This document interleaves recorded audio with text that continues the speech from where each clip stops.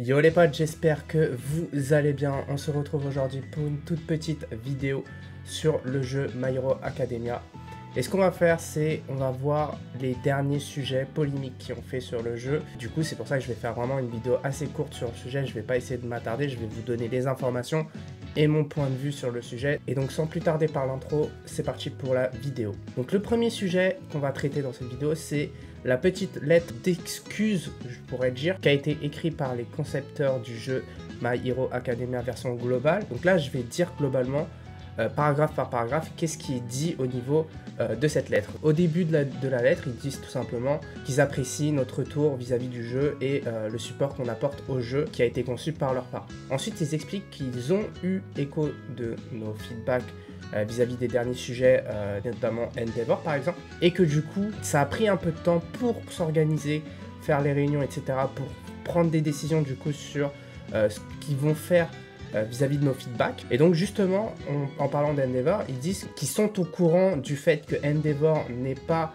à la hauteur des attentes qu'on a eues vis-à-vis de la version chinoise, parce que le personnage existait déjà en version chinoise. Du coup, ils disaient que pour eux, c'était pas normal en soi que vous comparez du coup la version chinoise à la version globale parce que du coup euh, il fallait pas s'attendre à ce que euh, le produit final, donc euh, le Endeavor final de la version globale soit exactement la même que la version chinoise. Et du coup ils étaient un peu choqués sur le fait qu'on soit qu'on s'attendait à ce que le Endeavor de la version globale soit quasiment identique au Endeavor de la version chinoise et c'est pour ça que du coup ils comprennent pas et du coup voilà ils s'attendaient pas à ce qu'on euh, gueule autant. Donc à ce niveau-là, je, peux je peux les comprendre tout simplement parce que pour eux, la version globale est un jeu autre que la version chinoise, donc c'est un jeu complètement différent pour eux, euh, vis-à-vis de surtout des ajustements et de l'équilibrage. Et ils n'ont pas eu tort en soi de nerfer Endeavor. De mon point de vue, ils n'ont pas eu tort, tout simplement parce que Endeavor en version chinoise était trop abusé. Par contre, là où ils ont eu tort, c'est vraiment de faire un énorme nerf sans voir les impacts sur les autres modes de jeu. Ils se sont vraiment énormément concentrés sur le, PvP coop, j'ai l'impression, et que du coup, ils ont délaissé euh, le Endeavor sur d'autres modes de jeu tels que le PvE, etc. Et c'est pour ça que du coup, je trouve euh, leur ajustement d'une bonne intention, mais ils auront peut-être dû faire un peu plus de tests avant de, valider le nerf qu'ils ont fait sur Endeavor. C'est globalement ce qu'ils expliquent au début du deuxième paragraphe, c'est vraiment parce que euh, ils ont récupéré des informations de la version précédente, donc de la version chinoise, et que du coup ils ont vu que globalement c'était pas super équilibré, qu'ils ont décidé de faire euh, des, des, modifications d'équilibrage vis-à-vis du Endeavor qu'ils allaient sortir dans le jeu global. Par contre, là où ils s'attendaient vraiment pas, c'est que euh, la modification, donc le nerf, prenne une tournure beaucoup plus négative vis-à-vis des joueurs parce que euh, justement euh, les, joueurs s'attendaient vraiment à avoir un Endeavor très fort et c'est pour ça qu'ils voulaient du coup invoquer dessus. Du coup, dans la suite, ils s'excusent. Donc, ils s'excusent du coup du fait que justement ça n'a pas été assez clair et transparent vis-à-vis d'eux, donc qu'ils n'ont pas été assez clairs euh, vis-à-vis de nous-mêmes pour nous donner en fait euh, les informations nécessaires euh, à évaluer le personnage Endeavor avant qu'on puisse prendre la décision d'invoquer ou pas. Parce que du coup, en soi, les personnes, le, personnage Endeavor existait également en chinoise et donc ils auraient pu nous communiquer globalement les différences entre les deux versions. Et, et, et du coup, à ce niveau-là, ils s'excusent et ils disent qu'ils vont continuer à produire du contenu qui va diverger de la version chinoise, mais qui vont essayer de faire l'effort de mieux communiquer.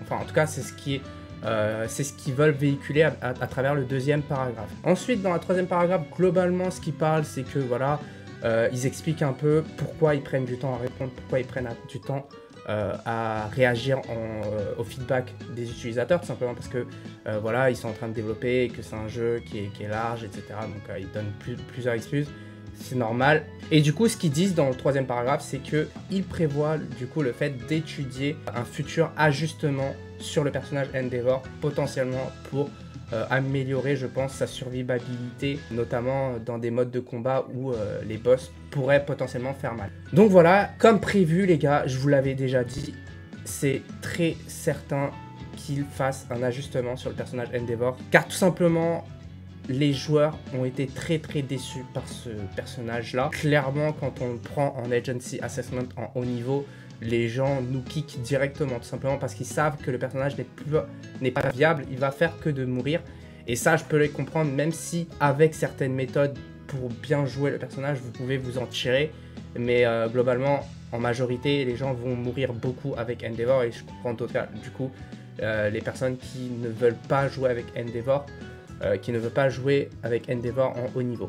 Ensuite, au niveau du quatrième paragraphe, du coup, ils s'excusent au niveau de la petite confusion qu'ils ont fait sur la carte support. Euh, si vous avez bien suivi les dernières news, au niveau de la carte support, ils ont fait une erreur de description et du coup, euh, potentiellement, ça a poussé en fait. Clairement, moi non, enfin, moi j'avais pas lu cette description, mais il y a des gens qui ont pu lire cette description et qui ont pensé que la carte support permettait justement d'ajuster un peu le manque de régène du personnage Endeavor et donc euh, ont un peu mis beaucoup d'argent, je pense, euh, à invoquer sur le portail de carte support d'Endeavor afin d'avoir du coup sa carte support ou alors mis euh, ou alors essayer d'acheter du coup les, le, pack qui était disponible en shop pour essayer d'avoir la carte support et du coup pour ce cas-là, du coup, il s'excuse énormément à ce niveau-là parce que justement, c'était une, une publicité mensongère en soi. Donc, ça a énormément gueulé au niveau des joueurs euh, qui ont surtout essayé d'invoquer et qui se sont rendus compte qu'au final, bah, la carte support n'était pas du tout, mais du tout celle qu'ils s'attendaient à avoir. Et donc voilà, euh, ils s'excusent énormément là-dessus et ils nous ont donné une petite compensation de 200 HeroCoin plus 10 tickets invocation qu'on a reçus euh, au niveau de notre boîte aux lettres. Je dis pas que c'est suffisant comme récompense pour se faire pardonner.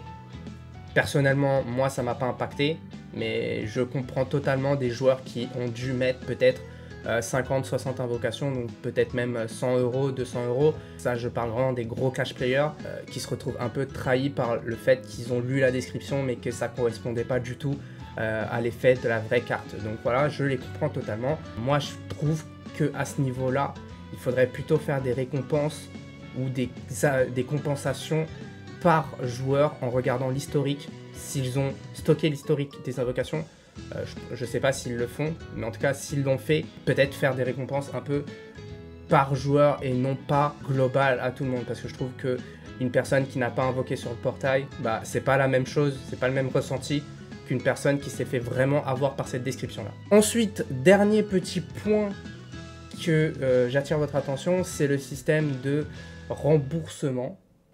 Donc, encore une fois, des joueurs, du coup, abusent du système de remboursement. Donc, qu'est-ce que le système de remboursement? Je le répète, c'est le fait d'acheter via euh, Google Play, du coup, ou euh, Apple Store de l'achat in-game, donc euh, des Hero Coins, des packs, etc. Et par la suite de demander un remboursement vis-à-vis de, de, Google Play ou de Apple Store par la politique de remboursement, donc le fait qu'on a le droit de se rétracter au bout d'un certain jour. Mais au final, vous avez déjà consommé ce que vous avez acheté, et donc au final, ça devient comme si vous aviez acheter gratuitement euh, des Hero Coins ou euh, des packs. Mais au niveau de votre compte, du coup, il y a très forte chance que vous fassiez ban à faire ça. Il y a eu certains remboursements demandés justement pour l'arnaque de la carte support. Mais voilà, à ce niveau-là, je ne peux pas forcément juger. C'est vraiment au cas par cas. Il y a des gens qui le font vraiment de, avec un esprit malsain. Donc le fait, leur but est de d'acheter gratuitement. Et il y en a qui veulent vraiment se faire rembourser parce qu'ils ont été un peu trahis par le jeu. Donc là, à ce niveau-là, je peux pas vraiment juger. Euh, clairement, c'est euh, au cas par cas. Donc après, voilà, il y a deux extrêmes. Donc il y a des gens qui veulent essayer de faire dans la voie pacifique. Donc ils vont essayer vraiment d'être en dialogue avec les développeurs, les concepteurs du jeu. Euh, et il y en a qui vont vraiment être brutal vis-à-vis des développeurs, des concepteurs, et qui vont essayer de détruire le jeu pour obtenir ce qu'ils veulent. Notamment, j'attire votre attention sur le fait que récemment, au niveau du Google Play, la note attribuée au jeu est extrêmement faible et tout le monde commence à mettre une étoile sur le jeu pour dire que le jeu est bien, mais qu'il manque plein de choses, qu'il manque des récompenses in-game et que euh, ça devient très vite, très très vite un, jeu qui, attire, qui, qui vous pousse à euh, consommer. Donc ça peut vous pousser à consommer un peu, mais il y a des limites. Clairement, il y a trop, trop, trop de, choses qui vous poussent à mettre de l'argent dans le jeu. Il y a trop de packs. Il y, a des packs qui sont à des prix qui ne valent vraiment pas le coup. Euh, clairement, si vous achetez du coup, par exemple, les 6000 Hero Coins à 100 euh, euros, c'est deux multi. Vous pouvez avoir des shards, une carte rang B, une carte rang A peut-être. Mais voilà, c'est clairement, vous allez dépenser 100 euros pour essayer d'avoir quoi? Un Tenya par exemple?